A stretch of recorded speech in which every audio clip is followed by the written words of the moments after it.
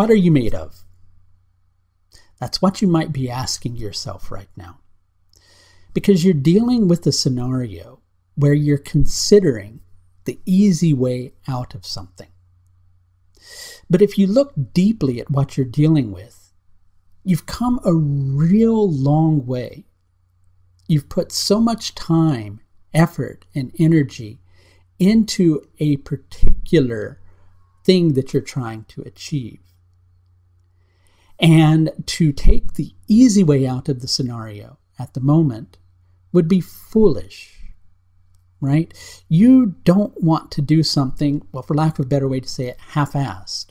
And you shouldn't, right? If you've dedicated so much of your time, effort, and attention to what you're trying to achieve, you should really dedicate yourself to it for the long haul. So inside yourself, you're thinking, maybe everything that I've done so far in dedication to this has been stupid Maybe I didn't know what I was doing. Maybe I was making the wrong choices, right? And whilst you definitely need to spend some time in reflection and consideration, you haven't been acting errantly. You haven't made the wrong decisions. You've been doing the right things. Perhaps the only thing that's going wrong right now is you expecting too much of yourself right? You're not superhuman. You're just yourself. And you're an individual who has feelings, who has needs, and yes, at the moment, those needs aren't being met. And you feel like your dignity is being impacted by your lack of a capacity to succeed, or in short term, being a failure, when you're not being a failure at all you've achieved much.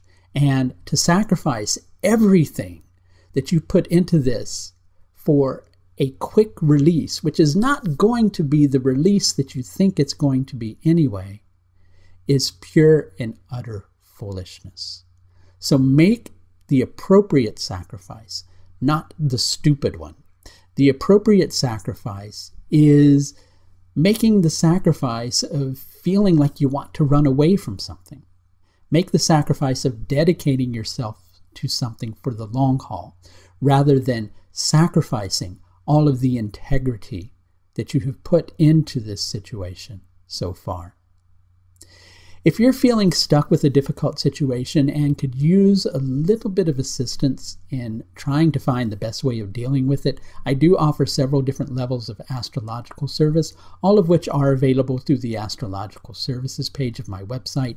If you're interested in scheduling with me, you can do so through the link above. That's going to do it for this look at the moon's transit through Rohini Nakshatra on the 30th of June 2019. Until next time please do take the very best care of yourself. Bye now.